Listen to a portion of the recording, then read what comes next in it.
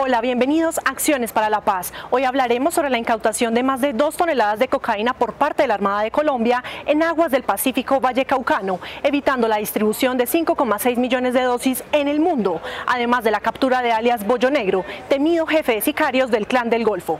Esto y mucho más a continuación.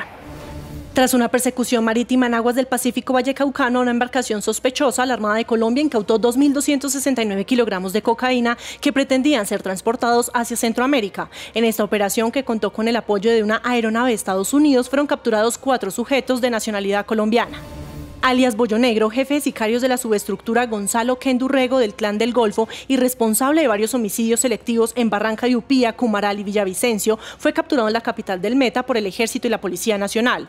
Este sujeto hacía parte del cartel de los más buscados por su peligrosidad y también tenía circular azul de Interpol por la comercialización de armas de fuego, material explosivo y venta de estupefacientes a estructuras de crimen organizado desde 2005, la Dirección de Investigación Criminal en coordinación con la Fiscalía ocupó fines de extinción de dominio a 13 bienes que figuraban a nombre de alias Zeus y sus familiares. El avalúo de todos los muebles e inmuebles suma 11.710 millones de pesos. Los operativos fueron realizados en el Magdalena Medio, Yondó, Antioquia, Puerto Boyacá en Boyacá y en Bogotá.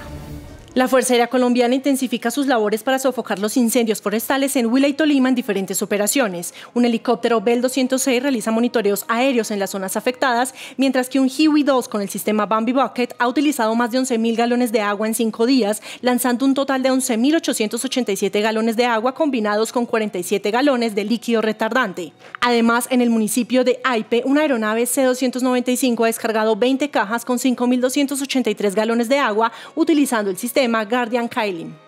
Antes de irnos, les informamos que a menos de cuatro meses de terminar el 2024, estamos muy cerca de superar la cifra de 739 toneladas en incautaciones de cocaína del año 2023, pues según el más reciente informe de seguimiento a la lucha contra el problema mundial de las drogas, hasta el 12 de septiembre de 2024 se han incautado 629 toneladas de cocaína, con un incremento del 25% frente al mismo periodo del año pasado y del 6% en la destrucción de infraestructuras para la producción de drogas ilícitas. Avanza el cambio en defensa. Gracias por acompañarnos. Nos vemos como siempre en ocho días aquí en Acciones para la Paz. Hasta pronto.